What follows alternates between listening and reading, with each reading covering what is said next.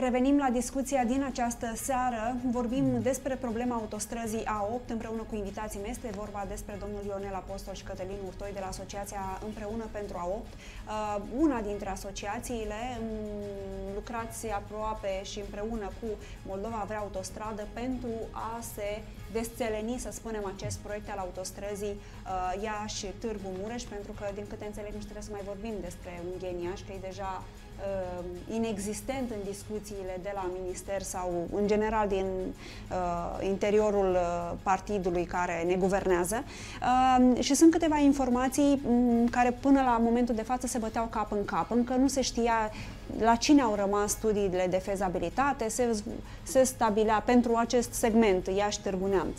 Nu se știa dacă a rămas la Ministerul Transporturilor, dacă s-a mutat la uh, Comisia de Prognoză.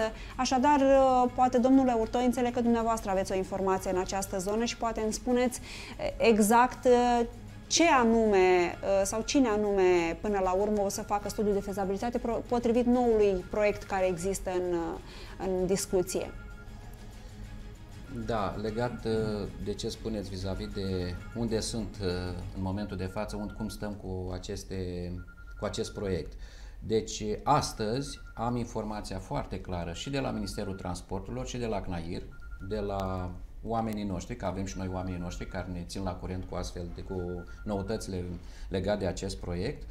Pot să vă spun foarte clar, uh, pentru porțiunea de segmentul Iași-Târgu Neamț, studiul de fezabilitate, proiectul și uh, execuția sunt în acest moment la comisie, comisia de prognoză. Nu mai este nimic la CNAIR, nu se mai ocupă da, nici la, CNAIR, la această, să spunem, instituție acest, uh, care e total proiect. neavizată pentru a se Puțin. Uh, Contrar desfășura. la ce spunea domnul Popa zilele trecute în conferința de presă. Domnul Marcel Popa, președintele Consiliului Județean, spuneți noastră. Împreună cu domnul Balanișcu. Domniile lor spuneau că uh, atât uh, proiectarea cât și studii vizabilitate au rămas la CNIR. Și era, să spunem, pentru dumnealui, se părea o, o veste bună sau în ce context? Că... Părea o veste bună, spuneau că până la sfârșitul anului se vor face creditele de sarcină și se va lansa...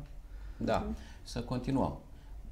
Porțiunea Iași-Ungheni și podul de la Ungheni, în acest moment, deci astăzi când vorbim, nu se mai știe nimic de ele, unde sunt, pentru că nimeni nu se mai ocupă.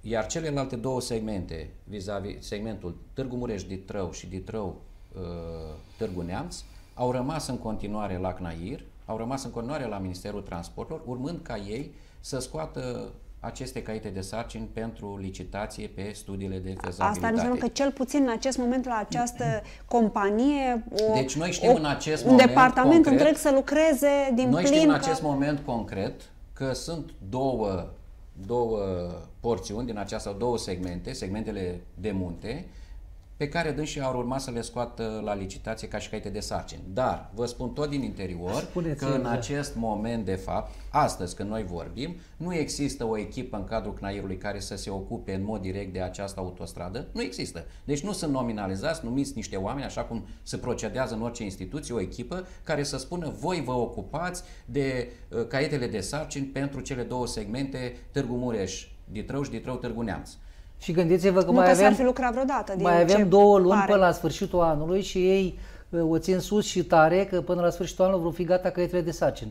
Da, știu că era și un uh, deadline, un termen limită până la care se, pun, se puteau uh, accesa fonduri pentru studiile de fezabilitate. Nu, Cumva uh, avem, avem un, da, un, un termen? Deadline. Da, este, este un deadline, trebuie ce spune și Corina Crețu, ce spunea și ieri, cât mai repede noi trebuie să depunem aceste uh, proiecte. Dar uh, ca și deadline. Deadline-ul ar fi, spre exemplu, cu tot cu implementare, ar fi undeva la, cu tot cu implementare, atenție ce vă zic, ar fi undeva la finalul anului 2020. Pentru că programul 2014-2020 spune chiar el. Ce înseamnă cu tot cu implementare? Cu tot cu implementare, adică când spunem implementare înseamnă licitație, înseamnă declararea executantului, câștigătorului, câștigătorului și Sigur efectiv da. efectuarea studiilor, care vreau să vă spun că aceste studii înseamnă în jur de 2 ani, 2 ani și jumătate adică din momentul semnării aceasta contractului. este perspectiva cu care am putea să spunem că avem finalizate studiile de fezabilitate, exact, iar de la exact. acel moment să sperăm că putem să mergem exact. mai departe deci cu licitați pentru noi construire. Avem o perioadă până în 2019 primăvara al 2019 să putem accesa, să putem depune, să finalizăm practic aceste caiete de sarcini, să organizăm licitațiile, de fapt așa ne-au spus cei la CNAIR, în așa fel încât noi după aia să putem uh, depune acea cerere de finanțare pentru studiile de fezabilitate. Studii de fezabilitate care de multe ori au spus-o și noi trebuie să spunem acest lucru, cei din guvern, cei din uh, partidul de guvernământ, chiar și alți politicieni, o spuneau, chiar și la Iași, ne spuneau foarte clar că nu sunt bani pentru studii de fezabilitate, că nu sunt fonduri europene pentru aceste studii. Problema stă în felul următor uh, cu studii de fezabilitate. Practic, statul român trebuie să avanseze acești bani pentru studii și abia după aia să fie decontați de Uniunea Europeană.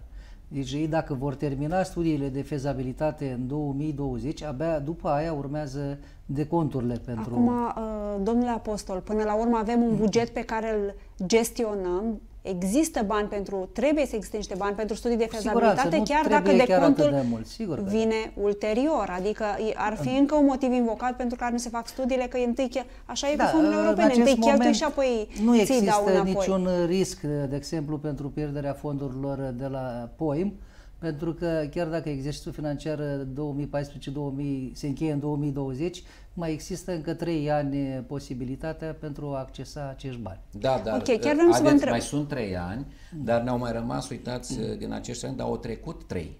Deci deja au trecut 3 și Deja au trecut 3, iar disperarea Corinei Crețu este, era și pentru faptul că noi în, 2000, în exercițiul financiar 2007-2013 am pierdut 2 miliarde pe infrastructură, 2 miliarde de euro, iar acum, după 2014, 2015, 2016, 2017, iată jumătate al 2018, deci aproape mai mult 5 de ani, 5 ani, ani de zile. Mai mult de noi în momentul de față suntem în situația de a, avea, de a nu avea proiecte depuse pentru 3 miliarde de euro. Mai mult pentru 3 miliarde de euro pe Nu nimic, am avut 40 și ceva de milioane de euro ca să facem un referendum care n-a folosit nimănui. Uh, n-am fi avut, să spunem, să angajăm niște bani pentru niște studii de fezabilitate ca măcar să urnim acest proiect. Știu că mergeți la uh, domnul președinte Claus Iohannis. Uh, de ce acolo și cu ce așteptări? Adică noi mergem... Multe dintre vizite ajung să spun că sunt doar simbolice, da, ar părea, în vedere... Ar părea o vizită simbolică, dar nu este, pentru că noi mergem la președinte cu uh, o idee foarte clară. Deci dorim ca în primul rând să punem pe agenda domniei sale uh, problema Moldovei, situația din, din zona noastră și am mai spus-o și altă dată și la alte posturi de televiziune, am dorit ca problema autostrăzii Unghenia Târgu Mureș și a zonei noastre să fie discutată în CSAT. În CSAT, un, un lucru foarte interesant. Spun acesta pentru că uh, mi-e teamă că la nivel politic e foarte greu cumva să-i convingi în vreun fel, adică mi-e teamă tot de aceleași discursuri pe care le tot întâlnim, confirmări că suntem susținuți, că vor susține proiectul autostrăzii. Eu nu cred că a fost cineva Uh, public a afirmat că nu, acest proiect nu vreau să-l susțin, nu mi se pare important pentru, uh, pentru România. Nu, asta... nu vă temeți că o să aveți uh, același tip de... Poate, adică președintele urni în vreun fel acest proiect în afară de această soluție pe care ați abordat-o dumneavoastră? Eu cred că președintele, în primul rând, este sensibil la, la problema din Moldova, pentru că am văzut-o și la deschiderea anului universitar. Uh, în Teatrul Național, domnia sa uh, a recunoscut că Moldova are un potențial foarte mare, în schimb uh, nu are infrastructură și din acest motiv uh, aici au apărut probleme de tot felul, oamenii își părăsesc... de la recunoaște o problemă care e atât de evidentă până la sigur, face lucrurile să se întâmple, e, e un drum că, lung. Da, dar domnia sa nu are într-adevăr pârghiile uh, foarte clare, nu este executivul uh, acestui stat, ci ar putea în CSAT să poarte o discuție cu, cu primul ministru și să-i spună părerea domniei sale. Eu cred că se ține cont și de părerea domniei sale față de uh, ceea ce înseamnă împărțirea într-un mod echitabil a banilor publici în această țară.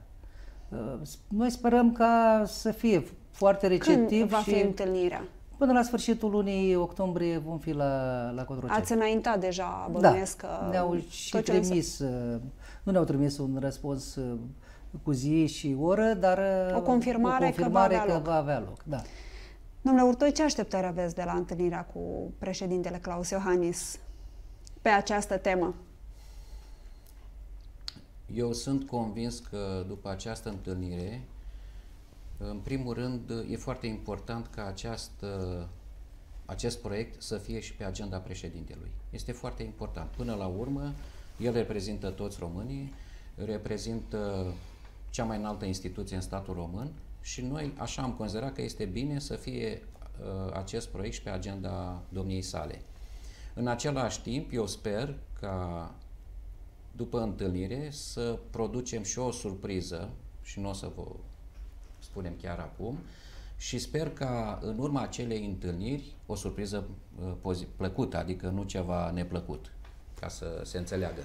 Și sper ca după acea întâlnire uh, cât mai mulți moldoveni în primul rând, oameni din toate orașele și din toate județele regiunii Moldova să vină alături de noi, pentru că, eu repet, așa cum de un an și jumătate, uitați, de când am început noi aceste acțiuni, acest proiect este pe agenda presei și vă mulțumim încă o dată absolut la toată presa din Iași din, și din în România, de fapt, așa cum este pe agenda unor politicieni, a început să fie, așa cum a ajuns pe agenda Bruxelului, pentru că ați observat, și Juncker ne susține și doamna Crețu, deci toată lumea de la Bruxelles care are contact cu politicul din România ne susține acest proiect. Cred că în continuare va trebui să punem această presiune pe guvern, indiferent ce culoare politică va avea acest guvern, în așa fel încât să nu pierdem fondurile europene, este foarte important să nu pierdem fondurile europene, să nu pierdem startul la aceste fonduri europene acum în perioada 2000, cât a mai rămas până la finele anului 2020 și să putem în, 2002, în viitorul exercițiu financiar 2021-2027 să uh, atacăm construcția acestei autostrăzi. Ok, am vorbit uh, un pic mai devreme inclusiv de domnul președinte de Consiliul Județean și vrem să vă întreb dacă în vreun fel acești oameni care conduc județele regiunii, și nu mă refer evident doar la domnul Marcel Popa, ci la toate județele pe unde ar trebui să treacă autostrada sau cele care să spunem că sunt județe satelit în jurul uh, acestei, uh, uh, acestui tronson, pot sau nu interveni în vreun fel prin alianțe, prin presiuni politice, adică au vreun rol președinții de consilii județene în toată această bătălie pe care o ducem pentru autostradă? Nu știu dacă ați auzit, în presă a apărut în ultimele zile că în Ardeal deja patru orașe importante și-au dat mâna, patru județe patru importante, județe. și-au dat Sunt mâna. de aceeași culoare politică, știți? Sau... Nici nu contează chestia asta. Nu știu dacă contează, că de la același partid e mai nu, ușor. Nu, nu sunt de aceeași culoare politică mai, mai important este interesul ardelenilor decât Mă am impresia că sunt de aceeași culoare politică, dar eu vă spun că în Moldova avem majoritatea județelor de aceeași culoare politică. Câte și-au dat mâna? Ideea este că ar trebui și ar putea, mai ales plecând de la Iași, uh, domnul Marcel Popa încă este președintele regiunii și uh, are întruniri cu toți uh, președinții de Consiliul Județean de pe zona de nord-est ar putea să se pună de acord și să meargă toți cu, cu aceeași cerință. Nu mai gândim păcate, este Hai foarte să adevărat că nu face Săptămâna nimic, da. trecută ați participat probabil și dumneavoastră la acea conferință de presă, da? Noi știm de ce a fost acea conferință de presă și nu o mai repetăm, dar a spus în felul următor. În ultimele șase luni noi am reușit să deblocăm proiectul A8. Au deblocat Cu pe drag, pe românește, n-au deblocat acest proiect. Haideți să fim serioși. Da, și vreau să vă mai spun, aici am în acest moment, sunt, n-am vrut, noi le păstrăm, sunt semnăturile la toți președinții de Consilii Județene, primării, uh, oameni de politici din zona Moldovei, care le-am strâns anul trecut, în perioada după marșul de la spre Târgu Mureș. Vreau să vă spun că singurul care nu a semnat în acest moment această, acest angajament? Era un angajament de su- mai de, oricum eu, eu spus angajament, era ca o scrisoare de susținere practic. E un angajament, este declarație de angajament. Bine, nu are nicio valoare juridică, adică nu, nu, nu obligă să spunem cu nimic de dacă și Bineînțeles. Dar, lăsați-mă să, să da. termin să vă spun ce valoare are pentru noi. Pentru că spunea în, acea emisiu, în acel interviu, în acea conferință de presă săptămâna trecută, că discută permanent cu societatea civilă. Iată, societatea civilă ne s-a dus în întâmpinarea uh, acestui proiect și a mers încă de anul trecut la dumnealui și până astăzi, când noi facem această emisiune, dumnealui n-a semnat acest document. Deci este singurul uh, președinte de Consiliul Județean din Moldova care nu a semnat acest document. Asta apropo de susținerea acestui proiect. Am fost personal și l-am dus și domnia sa s-a uitat așa foarte lung uh, la mine, bineînțeles uh, un pic uh, ironic, așa mi-a zis că vezi că în instituția asta toate documentele au un circuit foarte clar. Te rog să-l, să-l duci la secretariat. Deci peste tot prin țară, pe unde am fost, la Târgu Mureș, la Neamț, la uh, Vaslui chiar, uh, m-au primit președinții Consiliului Județean, au primit documentația de la noi, s-au uitat pe ea, la Iași și domnul președinte m-a trimis la, la secretariat. Da, eu poate trag o concluzie, nu știu, eronată sau corectă, poate nu vor să iasă din cuvântul președintelui partidului, a domnului Dragnea, adică poate nu vor să deranjeze. nu adică greu de, asta, asta de văzut, e, da. pentru că ei în principiu nu cheltuie nimic, nici nu poate să facă într-adevăr mare lucru pentru că regiunea nu are un statut uh, administrativ prin care să poată accesa pe cont propriu ei ca și președinte de Consiliul Județean, doar ar putea să facă presiune de, pe ordin politic, da? Și prin prisma funcției pe care o au în acest moment, da? Uh, nu urnesc lucrurile, nici măcar în această formă, mă gândesc că poate tocmai asta nu, o fi vorba noastră. obediența un de... față de conducătorul suprem este foarte mare, cel puțin aici la Iași. Dumneavoastră ați văzut și știe toată presa, tot românul, ce s-a întâmplat uh, la ultimele întâlniri din cadrul uh, PSD. Are, haideți să vedem așa, are ministrul transporturilor un consilier pe A8 din Iași. Director general Cnair are un consilier pe A8 din Iași. În acest moment, când noi vorbim, acești doi consilieri, amândoi din Iași, nu s-au întâlnit un minut. Niciodată. Nu Niciodată. se cunosc. Nu se cunosc. Și asta ce-i bănuiți? Că sunt acolo ca să nu facă nimic? Adică sau nu urnesc lucrurile? sau? Uh, nu putem spune despre Trageți ambii, despre ambii nu putem să spunem același lucru. Uh, în schimb, uh, despre consilierul de la, al Ministrului Transporturilor am aflat abia la vizita care am făcut-o noi la, la Ministrul Transporturilor.